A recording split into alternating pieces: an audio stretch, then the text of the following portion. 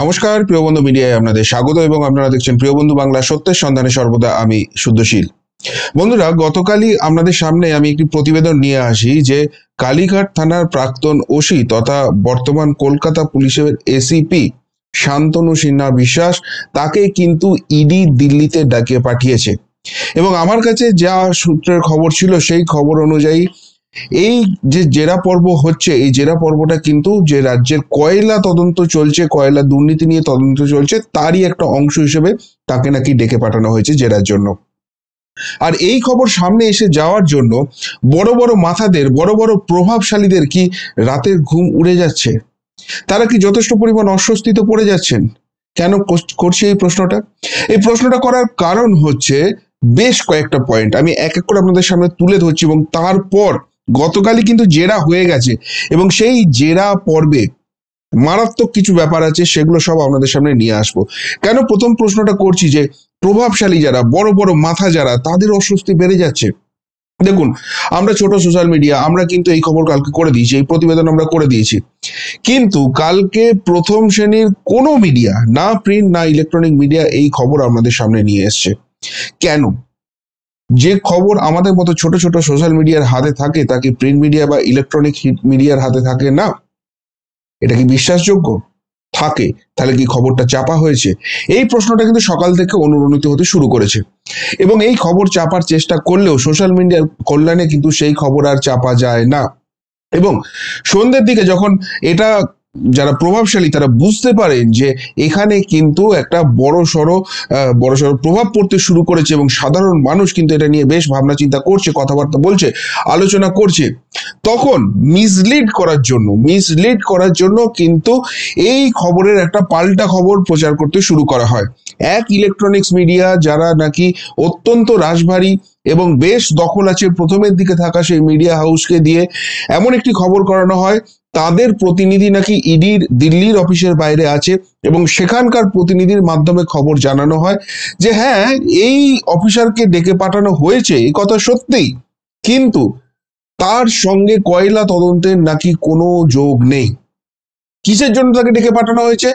তাকে ডেকে পাঠানো হয়েছে, ইডি যেসব তদন্ত করছে, কোনো স্পেসিফিক তদন্তের নাম দেওয়া হয় না। বলা হয়, ইডি যেসব তদন্ত করছে, সেই সব তদন্তের জন্য একজন প্রভাবশালী কেউ আছেন।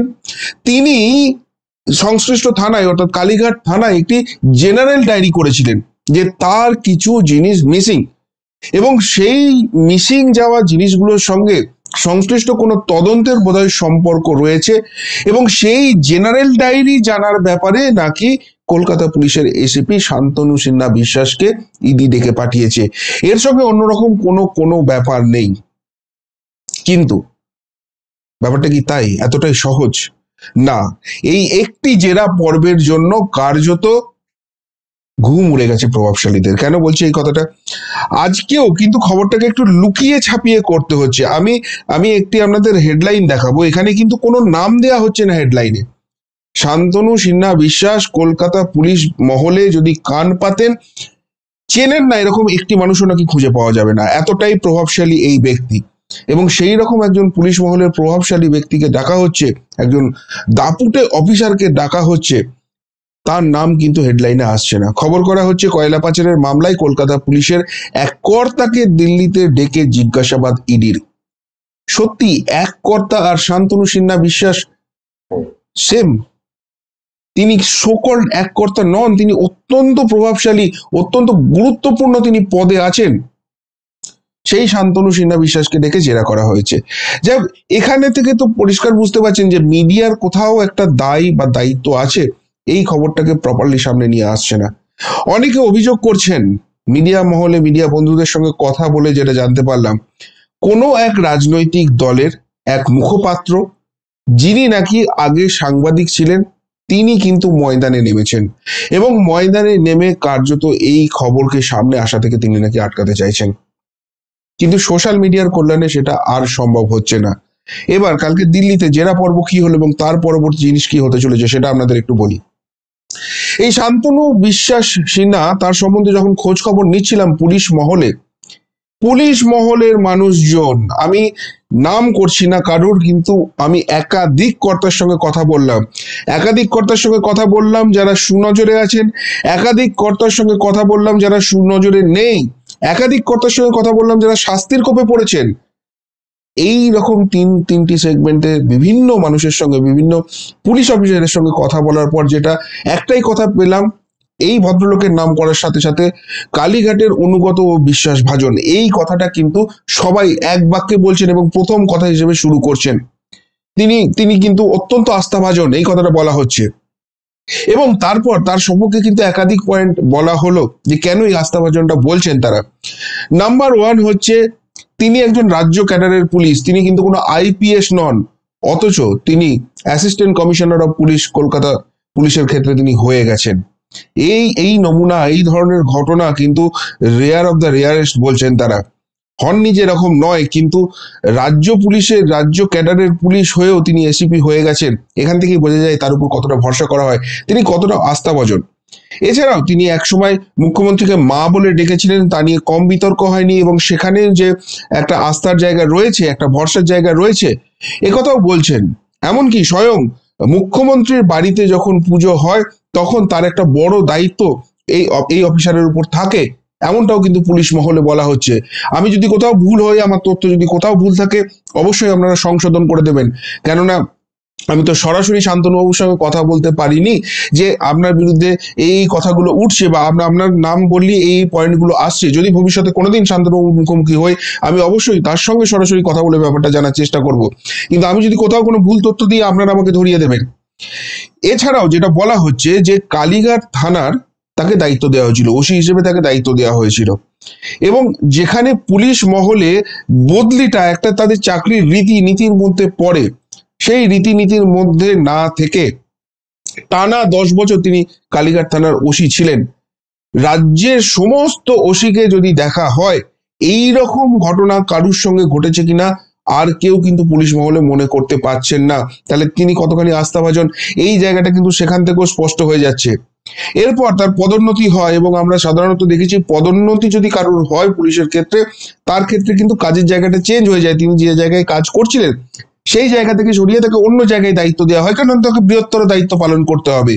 কিন্তু তাকে যখন অ্যাসিস্ট্যান্ট কমিশনার করা হলো, তাকে কিন্তু অতিরিক্ত দায়িত্ব দিয়ে ওই কালীঘাটেরই তাকে দায়িত্বে রাখা হলো। এই কথাও বলছেন কিন্তু পুলিশ মহলের লোকেরা। এবং তার উপরে সব থেকে যেটা বড় কথা, পুলিশের যে ওয়েলফেয়ার কমিটি আছে, সেখানকার সভাপতির দায়িত্বও তিনি রয়েছেন। এই জায়গা থেকে এরকম একজন হাই প্রোফাইল পুলিশ অফিসার যিনি নাকি অত্যন্ত আস্থাভাজন এবং বোঝাই যাচ্ছে যে তার কার্যপদ্ধতি তিনি এতখানি এফিসিয়েন্ট অফিসার যে তার উপরে কিন্তু একটা থানার উপর দীর্ঘদিন তাকে রেখে দেওয়া হচ্ছে। যেখানে বদলিটা একটা নিয়ম তাকে কিন্তু সরানো হচ্ছে না। সেই রকম একজন আস্থাভাজন অফিসারকে কেন হঠাৎ দিল্লিতে ডেকে পাঠানো হলো? ইডি তাকে সত্যি কি বিষয়ে জানতে চাইলো? যে খবর ইলেকট্রনিক্স মিডিয়া গতকাল সন্ধ্যাবেলায় প্রচার করার চেষ্টা করেছে, সেটাই কি ঠিক? যে ইডির কোনো এক তদন্তের, কোনো এক ব্যক্তির কিছু মিসিং হয়েছিল, সেই মিসিং ডায়েরি জেনারেল ডায়েরি করেছিলেন, সেই সম্বন্ধে জানতে তাকে ডেকে পাঠানো হয়েছিল? না, ইডি সূত্রে যা খবর পাচ্ছি, এর আগে শান্তনু সিনহাকে অন্তত দুবার ডেকে পাঠানো হয়েছিল এবং দুবারই ডাক তিনি এড়িয়ে যান। এরপর তাকে কার্যত ইডির তরফ থেকে আলটিমেটাম পাঠানো হয় যে আগামী শুক্রবার, অর্থাৎ বারোই নভেম্বরের মধ্যে তিনি যদি দেখা না করেন, তার বিরুদ্ধে কিন্তু আইনত ব্যবস্থা নিতে বাধ্য থাকবে ইডি। এই যখন তাকে ফাইনাল আলটিমেটাম পাঠানো হয়, এরপর শান্তনু সিনহা নাকি নিজের তরফ থেকেই যোগাযোগ করেন এবং তিনি বলেন যে বুধবার তিনি ইডির দপ্তরে দেখা করতে যেতে চান। কিন্তু কেন তাকে ডেকে পাঠানো হলো? যেটা বলা হচ্ছে যে এই যে কয়লা পাচার কাণ্ডে যে নামটা সব থেকে বড় এখন এসেছে সামনে, অনুপ মাঝি অনুপের লালা, তার বয়ানে পাওয়া গেছে শান্তনুবাবুর নাম। এছাড়াও বিনয় মিশ্রের ভাই, আপনারা জানেন শাসক দলের নেতা ছিলেন, যুব নেতা ছিলেন এই বিনয় মিশ্র, যিনি এখন পলাতক। সেই বিনয় মিশ্রের ভাই বিকাশ মিশ্র, তার বয়ানেও একাধিকবার উঠে এসছে শান্তনুবাবুর নাম। এবং সেই কারণেই কিন্তু তাকে ডেকে পাঠানো হয়েছে যে কেন তাদের বয়ানে তার নাম উঠে আসছে। ইডির একটা সূত্র বলছে দুটো ঘটনা ঘটেছে। নাম্বার ওয়ান এই যে কয়লা পাচারের টাকা এসেছে, এই কয়লা পাচারের টাকা সংশ্লিষ্ট জেলা অর্থাৎ পশ্চিম মেদিনীপুর, পশ্চিম বর্ধমান, পুরুলিয়া, বাঁকুড়া, বীরভূম এই সব জেলা থেকে যে কয়লা পাচারের বিপুল পরিমাণ টাকা উঠে এসেছে, সেখানকার টাকা কলকাতার বহু প্রভাবশালীর কাছে পৌঁছেছে এবং কিছু কিছু তো সর্বোচ্চ স্তরের ক্ষমতা সম্পন্ন প্রভাবশালীর কাছে নাকি পৌঁছেছে। এবং এই টাকাটা জেলা থেকে কলকাতায় পৌঁছেছে যে সেটা কিন্তু এমনি এমনি হয়নি। পুলিশ মহলের একটা বড় সড়ো সহযোগিতা ছাড়া এই কাজ করা সম্ভব ছিল না। এবং পুলিশ মহলের একটা একটা অংশ এর মধ্যে ইনভলভ আছেন, এমনটাই কিন্তু ইডি আধিকারিকরা মনে করছেন। এবং সেই ব্যাপারে জিজ্ঞাসাবাদ করতে, সেই ব্যাপারে জানতেই যে কারা কি হতে পারে, কীভাবে আসছে, নিশ্চয়ই কোনো লিঙ্ক পাওয়া গেছে, সেই সংক্রান্ত জিজ্ঞাসাবাদের জন্যই শান্তনুবাবুকে ডেকে পাঠানো হয়েছিল এবং তিনি গতকাল সাড়ে এগারোটা নাগাদ ইডির দিদির অফিসে তিনি যান এবং এরপর সন্ধে অবধি তার জেরা হয়। বিভিন্ন বিষয়ে এইসব বিষয়ে কথা হয়েছে এবং সেখানে সেখানে আরেকটি গুরুত্বপূর্ণ বিষয় কিন্তু ইডির তরফ থেকে জানা যাচ্ছে, যেটা কিন্তু অফিসিয়াল নয়। আপনারা জানেন যে এর আগে বিভিন্ন দুর্নীতি তদন্তে কলকাতার এক প্রভাবশালীকে যখন ডাকা হয়েছে, তখন কিন্তু পাল্টা ইডি বা সিবিআই অফিসারদের কলকাতার থানায় ডাকা হয়েছে। এবং সেই থানার নাম ছিল কালীঘাট থানা। যেহেতু তিনি কালীঘাট থানায় দায়িত্বে ছিলেন, ওসি ছিলেন এবং সেই জায়গায় সেই এফআইআরগুলো কেন অ্যাকসেপ্ট করা হয়েছে, কিসের ভিত্তিতে করেছে, যেখানে হাইকোর্টে গেলে সেই সব দাবিকে উড়িয়ে দেওয়া হচ্ছে যে না ইডি অফিসিয়ালদের সিবিআই অফিসিয়ালদের সেখানে গিয়ে দেখা করার কোনো দরকার নেই। কিন্তু বারে বারেই কালীঘাট থানা থেকে এই অ্যাক্টিভিটিটা হয়েছে। এটাও কিন্তু একটা তদন্তের বিষয় চলে আসছে যে কার প্রভাবে, কার ইনস্ট্রাকশনে এরকম ঘটনা বারবার ঘটেছে? এটা কি শতপ্রণোদিত কোনো ঘটনা, নাকি এর পিছনে নির্দিষ্ট কোনো পরিকল্পনা আছে? যেহেতু কালীঘাট থানার তিনি দায়িত্বে ছিলেন, সেই ব্যাপারটাও কি তদন্তের মধ্যে আসছে? এটা নিয়ে কিন্তু জল্পনা চলছে। কিন্তু যেটা সব থেকে বড় সব থেকে ইম্পর্টেন্ট ব্যাপার, দিনের শেষে জেরা শেষে, জেরা সেরে তিনি যখন বেরিয়েছেন, যে কথাটা জানা যাচ্ছে ইডি সূত্রে, তাকে গত দশ বছরের আয়কর রিটার্ন এবং ব্যাংক অ্যাকাউন্টের নথি নাকি জমা দিতে বলা হয়েছে। অর্থাৎ, এখানে কি তাহলে কোনো ট্রানজাকশনাল ব্যাপার আছে? যে কারণে শান্তনুবাবুর সঙ্গে কথা বলতে চান ইডি আধিকারিকরা? কেন বলা হলো দশ বছরের আইকন রিটার্ন এবং ব্যাংক অ্যাকাউন্টের নথি দিতে হবে? তাহলে কি এরপর সম্পত্তির কোনো ব্যাপার থাকছে? ব্যাপারটা কিন্তু ক্রমশ ঘোরালো হচ্ছে। এবং সংশ্লিষ্ট মহল বলছে, ইডি কিন্তু ভয়ঙ্কর খেলা খেলে দিয়েছে। এবং যে কারণেই এই খবর বোধহয় সামনে এলে অনেকের অস্বস্তি বেড়ে যেতে পারে। আর তাই মিডিয়াকে কিন্তু এই খবর প্রকাশ্যে আনতে দেওয়া হচ্ছে না বা কোনো অবদ্ধ কারণে, দুর্বোধ্য কারণে মিডিয়া এই খবর নিয়ে আসতে চাইছে না। কেন? এই খবর সামনে এলে কার অসুবিধা হবে? যেখানে ঘটনা ঘটে গেছে, শান্তনু সিনহাকে দিল্লিতে ডেকেছে ইডি। দুবার নোটিশ দিয়েছিল, তিনি যাননি। তৃতীয়বারে থেকে আলটিমেটাম দেওয়া হয় এবং তিনি সেই জেরা ফেস করে তার সঙ্গে নিশ্চয়ই কিছু কথা হয়েছে, তাকে নিশ্চয়ই কিছু ইনস্ট্রাকশন দেওয়া হয়েছে। সেই সব তো খবর হয়ে গেছে। এই খবর কেন সামনে আসছে না? মিডিয়া কেন সেটা সামনে আনতে ভয় পাচ্ছে? এই নিয়ে কিন্তু প্রশ্ন উঠে যাচ্ছে। বন্ধুরা, আপনারা কি মনে করছেন? আছে বিশাল বড় রহস্যের জাল এবং যে কারণে এই খবর সামনে আসছে না বা বড় বড় মিডিয়া হাউস সামনে আনতে পারছে না? অবশ্যই কমেন্ট বক্সে কমেন্ট করে জানান। কার অস্বস্তি বাড়তে পারে এই খবর সামনে এলে? কি মনে হচ্ছে আপনাদের? এখনকার মতো এখানেই শেষ করলাম। ফেরত আসছি নতুন প্রতিবেদন নিয়ে খুব তাড়াতাড়ি। ভালো থাকবেন, সাথে থাকবেন, পাশে থাকবেন। নমস্কার।